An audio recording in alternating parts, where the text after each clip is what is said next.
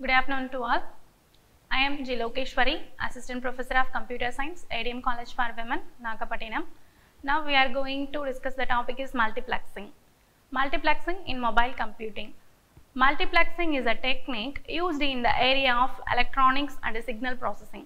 In mobile computing, telecommunications and computer networks, multiplexing is a method that can be used to combine multiple analog or digital signals into one signal over a shared medium. The main aim of using this method is to share a scarce resources. For example, you can see a real life examples of multiplexing in the telecommunication field where several telephone calls may be carried using one wire. Multiplexing also called muxing. History of multiplexing. The concept of multiplexing was originated in telegraphy uh, in the year 1870s. Nowadays, it is widely used in communication. George Owen Squier is called the father of multiplexing in telephony. He was created the development of telephone carrier multiplexing in the year 1910. Multiplexing is a technique that allows multiple simultaneous analog or digital signals transmission across a single data link. The main motive behind the development of multiplexing is to provide simple and easy communication. Uh, the proper resource sharing and its utilization. This is the best way to utilize and share a limited resource equally among multiple devices. There are four types of multiplexing. The first one is frequency division multiplexing. We are called FDM. Then second one is time division multiplexing. We are called TDM. Then third one is code division multiplexing. We are called CDM. The fourth one is space division multiplexing. We are called SDM. The first one frequency division multiplexing. The frequency division multiplexing or FDM is inherently an analog technology. As the name specifies, in frequency division multiplexing, the frequency dimension spectrum is split into smaller frequency dimension spectrum. Is split into smaller frequency bands also. It combines several smaller discrete frequency ranges signals into one medium and send them over a single medium. In FDM, the signals are electrical signals.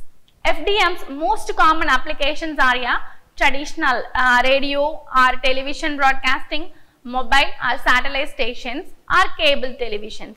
Uh, for example of frequency division multiplexing, in cable TV, you can see that only one cable is reached to the customer's locality, but the service provider can send the multiple television channels or signals simultaneously over the cable to all customers without any interference. The customers have to tune the appropriate frequency to access the required channel. In frequency division multiplexing, in this diagram we can see the several frequency bands can work simultaneously without any time constraints. The concept of frequency division multiplexing applies to both analog signals and digital signals. It facilitates you to send multiple signals simultaneously within a single connection.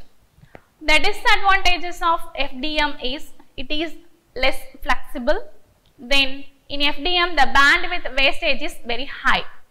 Then uh, what are the uh, places are used in FDM is radio and television broadcasting, then stations, cable TV, etc. Then second one is time division multiplexing. We are shortly called as TDM. The time division multiplexing is a, a digital or analog technology. In rare cases that use a time instead of space or frequency to separate the different data streams. It is used for a specific amount of time in which the whole spectrum is used.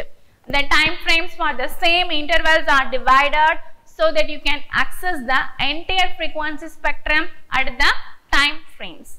In this diagram, we can see the time division multiplexing, the time then frequency is split into smaller sizes. Next we can see advantages of time division multiplexing. It facilitates a single user at a time. It is less complicated and has a more flexible resources in architecture. The disadvantages of TDM is it is not easy to implement. Then uh, when the places are uh, used in the TDM, the telephonic services mainly used in TDM services. Third type is code division multiplexing. The code division multiplexing allows a unique code every channel so that of these channels can use the same spectrum simultaneously at the same time. In this diagram, we can see the code division multiplexing, the time, frequency and the channel. Uh, the advantages of code division multiplexing is it is highly efficient, it faces fewer interferences.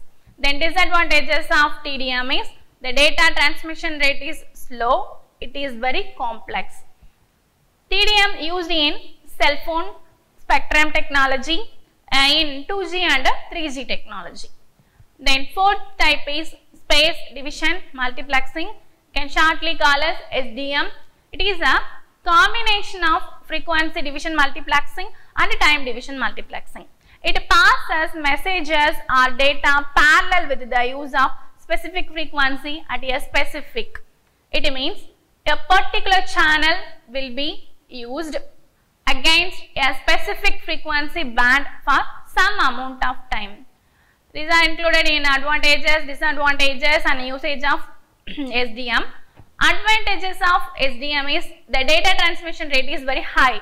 Then the time and frequency bands at a maximum at the potential level.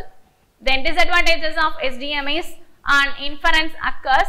Then it faces high inferences is lost. Uh, usage, it used in GSM technology. GSM abbreviation is Global Service for Mobile Technology. Uh, in SDM used in GSM technology. Next, the modulation in mobile computing. The modulation is a process mixing signals with a sinusoidal to produce a new form of signals. A newly produced signal has certain benefits over an unmodulated signals. Mixing of low frequency signals and high frequency signals, it carries signal is called a modulation. In other words, uh, you can say that modulation is the process of converting one form of signals into another form of uh, signals. Uh, for example, analog signals to digital signals or digital signals to analog signals. It is called a modulation. The modulation is also called a signal modulation. For example, let's understand the concept of signal modulation by a simple example. Suppose an analog transmission medium is available to transmit signals, but you have a digital signal that needs to transmit it through this analog medium. So, to complete this task, you have to convert the digital signals into analog signal. The process of conversion of signals from one from another form that is called a modulation, analog to digital or digital to analog. Next concept is why we use modulation the baseband or low frequency signals are not strong and compatible with the signals that can be used for direct transmission. To make these signals travel longer distance, we have to increase their strength by modulating with a high frequency carrier waves. This process does not affect the parameters of the modulating signal. The modulation is used to make the message carrying signal strong to be transmitted over a long distance and establish a reliable communication. A high frequency signal can travel up to a longer distance without getting affected by external disturbances. In modulation, uh, these type of high frequency are used as a carrier signal to transmit the message signal. This process is called a modulation. In modulation, the carrier signals parameters are changed according to the instantaneous values of the modulating signal. Uh, another reason to modulate a signal is to allow a smaller antennas. As we know that a low frequency signal would need a huge antenna and antenna needs to be about 1 by 10th the length of the wavelength of the signal to be efficient. The modulation converts the low frequency signal into high frequency which has smaller wavelength and allows a smaller antenna. The advantages of modulation. Following is the list of some advantages of implementing modulation in the communication system. Uh, first one is by implementing modulation, the antenna size gets reduced. Before modulation technology, the antenna used for transmission had to be very large. The range of communication gets limited as the wave cannot travel to a distance without getting modulated. The range of communication has increased. then third advantage is the reception quality is immensely improved. The receiver are allowed to adjust the bandwidth. Then the multiplexing of signal occurs. No signal mixing occurs. Then we can see the types of modulation. Primarily, modulation can be classified into, there are two types. First one is uh, digital modulation, the second one is analog modulation. Digital modulation, the digital modulation is a technique in which digital signals or digital data can be converted into analog signals. For example is baseband signals. Digital modulation also classified into there are four types. The first one is ASK, amplitude shift key modulation. Second one is MSK, minimum shift key modulation. Third one is FSK, frequency shift key modulation. Then fourth one is PSK, phase shift key modulation. In this diagram, the types is explained in amplitude modulation, minimum shift key modulation, frequency shift key modulation and phase shift key modulation. The first type we can explain are then amplitude shift key modulation. As the name suggests, in amplitude shift key or ASK modulation, the amplitude is represented by 1 and if the amplitude does not exist, it is replaced by 0. Using the amplitude shift key modulation is very simple and it requires very low bandwidth. Amplitude shift key modulation is vulnerable to inference or detection. then minimum shift key modulation. The minimum shift key or MSK modulation is the most effective technique of modulation and can be implemented for almost every stream of bits. It is easy and effective than amplitude shift key modulation, frequency shift key modulation and phase shift key modulation because MSK is mostly used ability and flexibility to handle 1 and 0 transition of binary bits. Uh, the frequency shift key modulation, it is the third type of modulation. In frequency shift key modulation, uh, different notations where we are used F1 and F2 are used in different frequencies. Here F1 is used to represent bit 1 and F2 is represent to bit 0. It is also a simple modulation techniques but uses different frequencies for different size then different bits then different bandwidth it require becomes high. Then next one is phase shift modulation. In phase shift modulation, the phase difference is used to differentiate between 1 bit as 0 bit. If the bit is 1, a simple wave is drawn. If the bit becomes 0, the phase of wave is shifted by 190 degree or pi.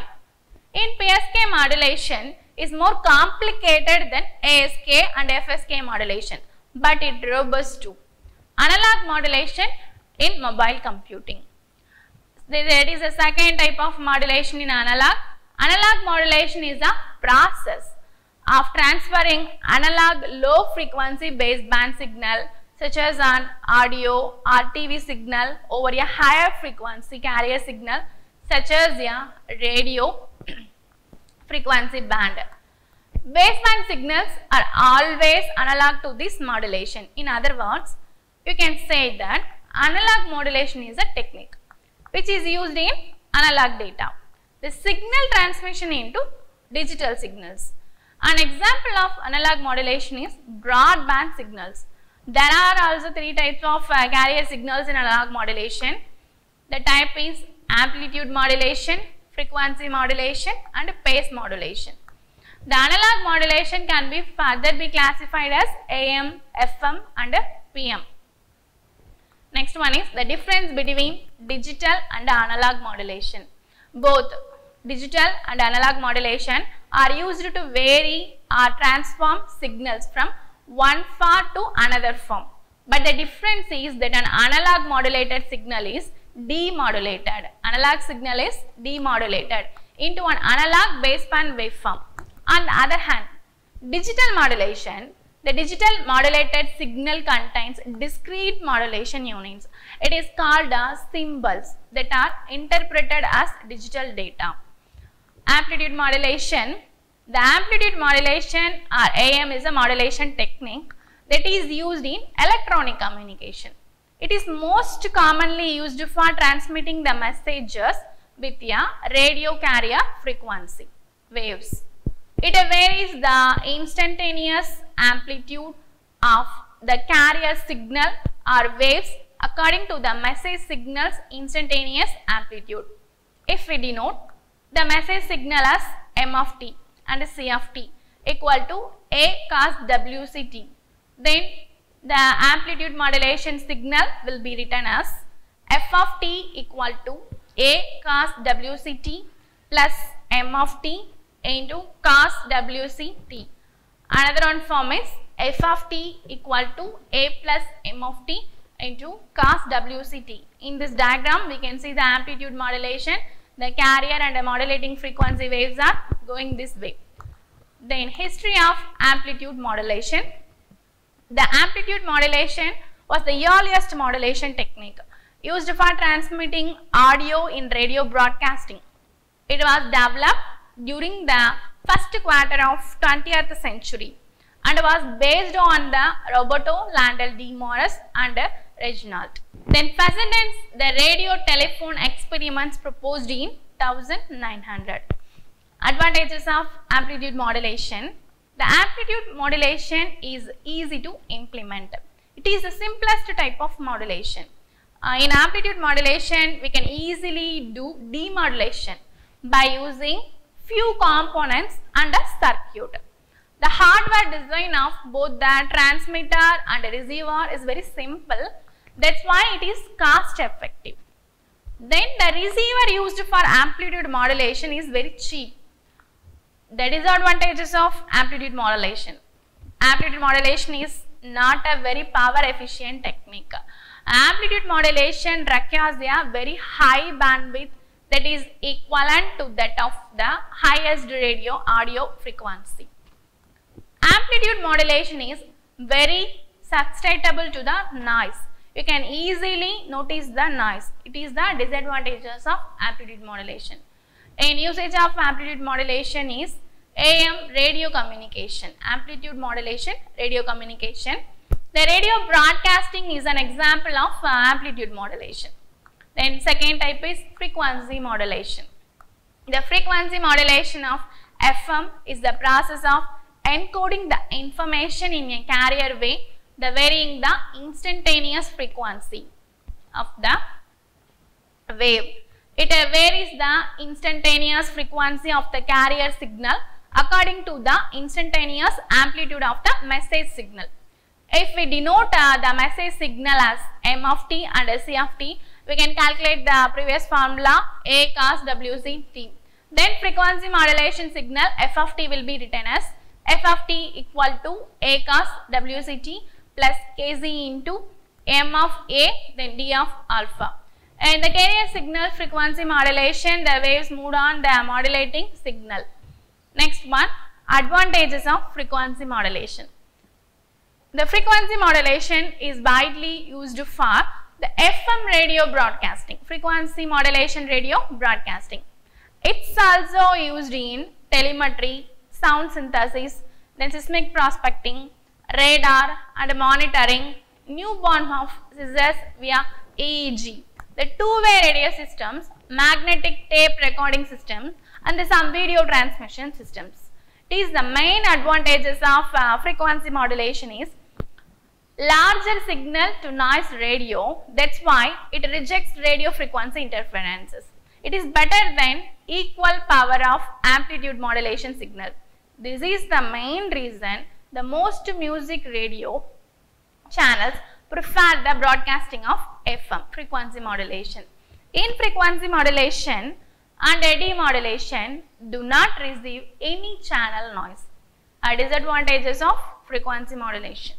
Frequency modulation consists of a complicated circuit then amplitude modulation for modulation and demodulation. Then the usage of frequency modulation. The main example of frequency modulation is frequency modulation uh, radio broadcasting.